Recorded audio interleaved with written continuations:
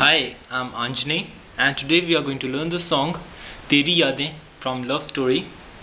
A very beautiful romantic song. The song has basically four chords. The first one is G. The second one is E minor 7. Uh, you have to do nothing else in making E minor 7. Just lift your middle finger and put it on D string, second fret. G E minus 7. The third one is C suspended 2. This is C. Keep your B string open, that is on fret number 3. And the last one is D. So G, E minus 7, C suspended 2, and D.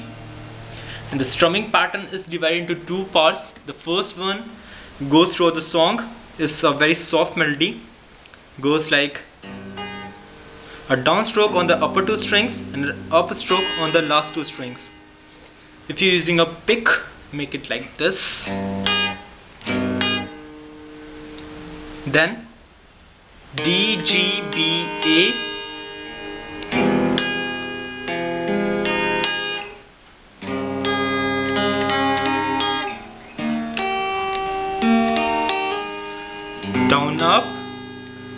D B A down up D G B A down up D G B A down up D G B A.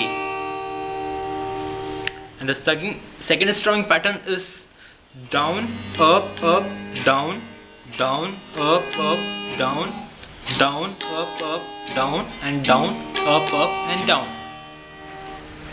So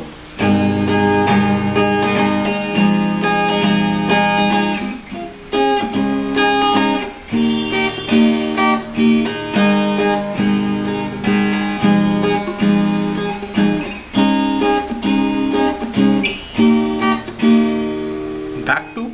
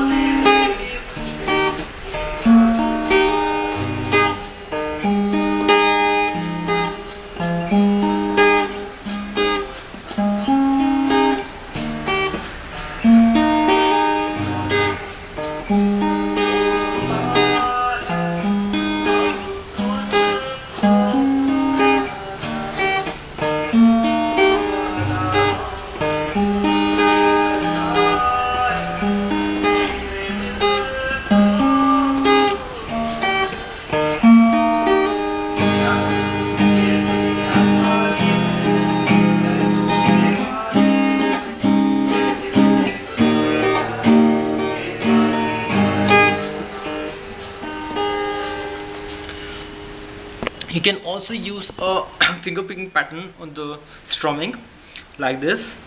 Use your thumb for the downstroke and index finger for the upstroke.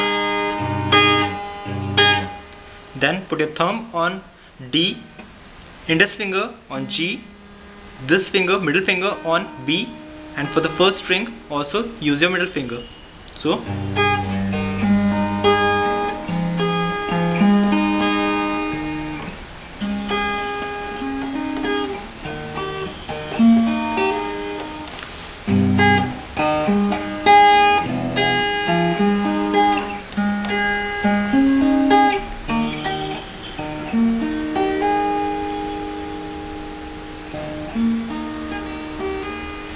Thanks a lot for watching. Stay tuned.